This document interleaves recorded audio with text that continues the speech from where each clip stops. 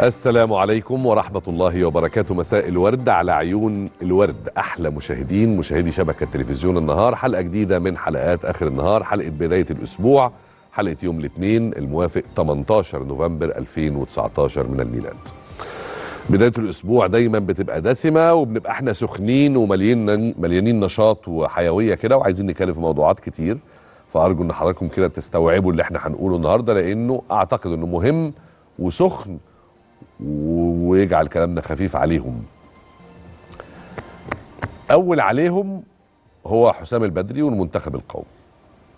النهارده كانت المباراة الثانية في الولاية الجديدة لحسام البدري في تدريب منتخب مصر المباراه الثانية الرسميه في تصفيات كأس الأمم الأفريقية وكنا بنلاعب دولة جزر القمر. هي اسمها كده مش جزر القمر جزر القمر. وكنا بنلعب هناك. في جزر القمر. والمباراة مش عارف حضراتكم عرفتوا ولا لأ ولا تابعتوا ولا لأ ولا اتفرجتوا ولا لأ المباراة انتهت صفر صفر تعادل سلبي في كل شيء وده التعادل السلبي الثاني لا اللي فات كان إيجابي بس هو سلبي من حيث الأداء. يعني إحنا الأسبوع اللي فات أول مباراة على أرضنا في استاد برج العرب انتهت المباراة واحد واحد مع منتخب كينيا الضعيف. منتخب كينيا الضعيف. وعلى أرضنا في وسط جماهيرنا وفي ملعبنا والمنتخب اتعادل واحد واحد وهو اللي طلع كسبان من الماتش. يعني التعادل ده بطعم المكسب لينا لأنه اللي ضيع فرص وكان متسيد المباراة واللي كان بيلعب أحسن منتخب كينيا. فقلنا دي كبوة قلنا دي زلة قلنا دي سقطة قلنا دي آه. النهارده بقى لاستفاقة الأسد استفاقة البطل.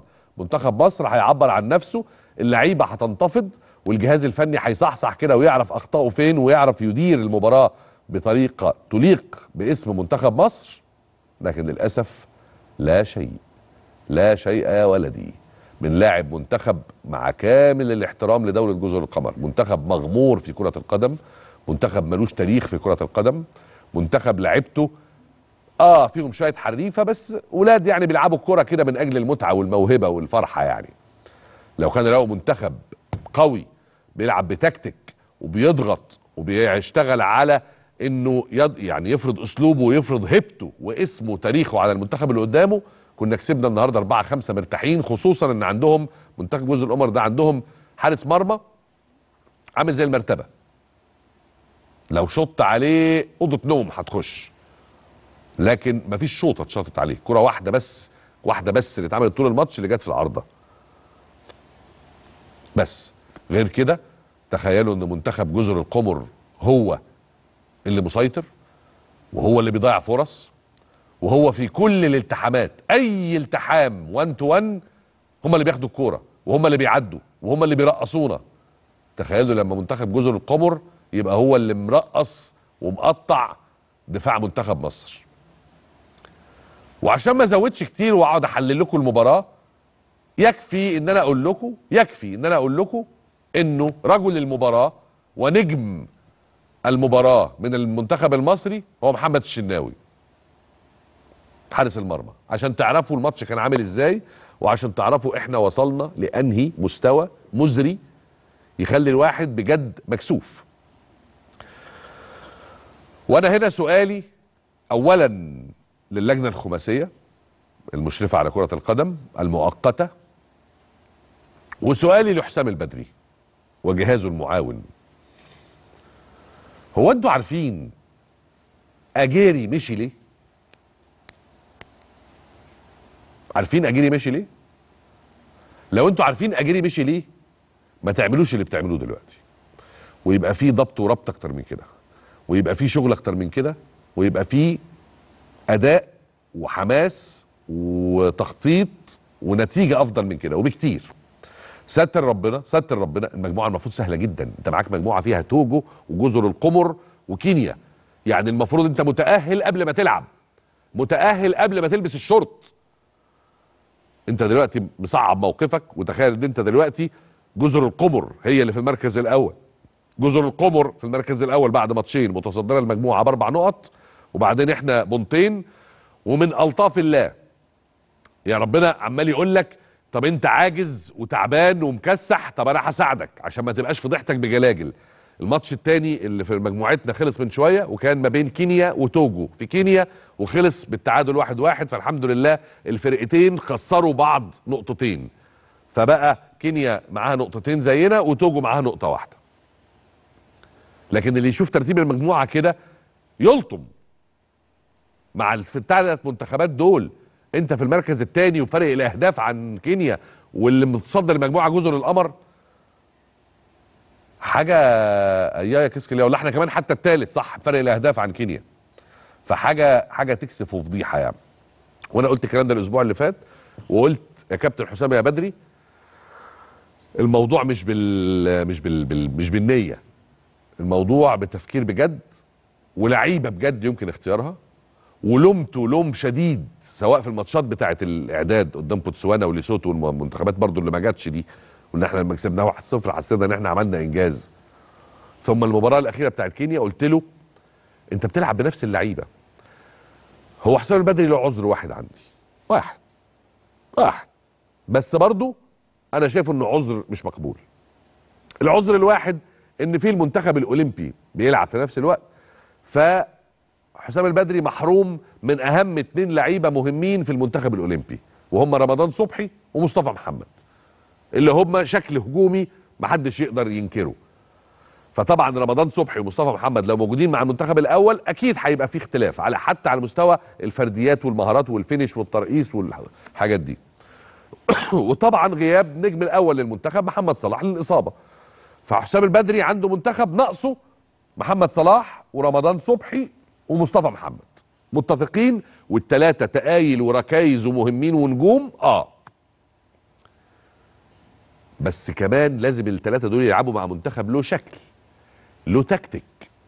أنا هقول لكم حاجة واحدة عشان أخلص كلام في الموضوع ده لأن أنا قرفان بجد قرفان من مش مش طالعة من لساني أقول قرفان من منتخب مصر منتخب مصر ده حاجة عالية بس قرفان من الأداء المزري اللي إحنا عملناه النهارده وبقيت متضايق وأنا بتفرج على منتخب مصر. بقيت متضايق يعني مش عايز النهارده والله قاعد كل شوية أقوم وبعدين الشوق ياكلني والحمية والانتماء وبترجع أبص أتقرف زيادة حاجة صعبة قوي قوي يعني في لقطة النهارده تدلك على إن ده منتخب عشوائي والإدارة الفنية عليها إنها تبذل جهد أضعاف أضعاف أضعاف اللي بتعمله في بداية المباراة.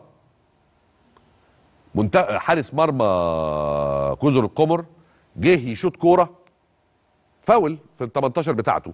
جه يشوطها اتكعبل اتكعبل ووقع والكرة طلعت قدامه فقام قايم وشايطها تاني. ده طبعا مخالفة واتحسبت فاول جوه ال 18 اتفاول حسب فاول جوه ال 18 بتاع جزر القمر. يعني هجمة خطيرة جدا. فاول مش على حدود ال 18 جوه ال 18 حلو وضاعت مش مهم. المهم اول ما اتحسب الفاول إيه اللي حصل؟ مش عارف بقى هتعرفوا تجيبوها أنتم من على اليوتيوب ولا بتاع اللقطة دي؟ أنا مش عارف أجيبها لكم عشان حقوق البث والإرسال وكده. سبع سبع لعيبة. سبع لعيبة من منتخب مصر واقفين حوالين الكورة عمالين يدردشوا ويدو... لا سيبها لنا لا أنت اللي هتشوط طب هنلعبها كده طب هنعمل كده طب هنعمل كده. ده ملوش غير معنى واحد عندي إن مفيش جهاز فني قاعد بره درب في التدريبات لما تيجي كورة في ال 18 أو على حدود 18 مين اللي هيشوطها؟ إيه التكتيك اللي هيتعمل؟ هتتباصى ولا هتترفع؟ فلان الفلاني هو رقم واحد في التسديد رقم اتنين في التسديد كذا مين اللي هيفوتها ويمررها ويا ما حدش قال حاجة. فاللعيبة عملت كونسولتو حوالين الكورة تريزيجيه على طارق حامد على محمود آه علاء على أحمد حجازي على مش عارف مجدي قفشة ثمانيه واقفين حوالين الكورة. هتلعبها أنت؟ طب ده لا سيبها لي والنبي بس أنا هلعبها كده. يا ربنا يوفقك ده بتوع الدورة الرمضانية بيبقوا مرتبين أكتر من كده. لو شات شباب من الكرداسة جايين يلعبوا دورة رمضانية هيبقوا مرتبين أكتر من كده وعارفين مين اللي هيشوط بينالتي ومين اللي هيشوط الفاول وبتاع بيسيبوها له من اللحظة الأولى.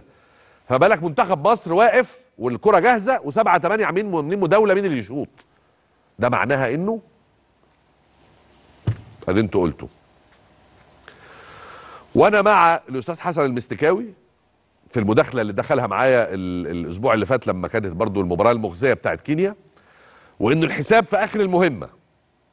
بس أنا بقول له دلوقتي بقى يا أستاذ حسن المستكاوي مع اللجنة الخماسية الحساب آخر المهمة آه بس الجواب بيبان من عنوانه. وعنوان الجواب ضايع. عنوان وحش. عنوان يدعو للتشاؤم.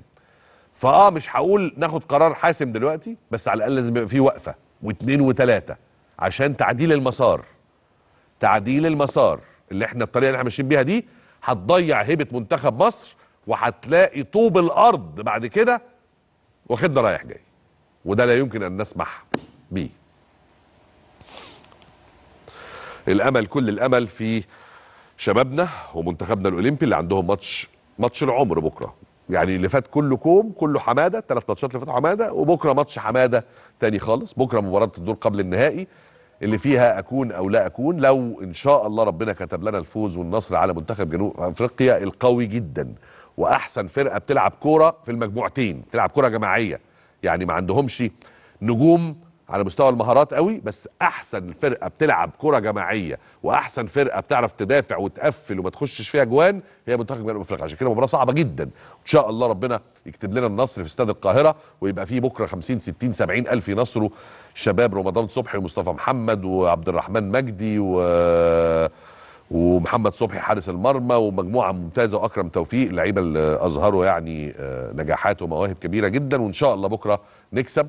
ونصعد إلى أولمبياد طوكيو ونصعد للمباراة النهائية وبعد كده بقى يحلها. حلال نكسب البطولة ما نكسبهاش. طبعا نفسنا نكسبها بس الأهم هو الحصول على تذكرة طوكيو 2020 لأن المنتخب ده يستاهل إنه يكمل ويستاهل إنه يتعرض في الفاترينا الحلوة بتاعه الأولمبياد.